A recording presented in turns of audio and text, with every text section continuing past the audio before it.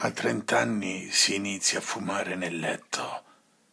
Non restiamo più così a lungo seduti sulla panchina degli imputati, né ci allarmano più gli orologi sveglia.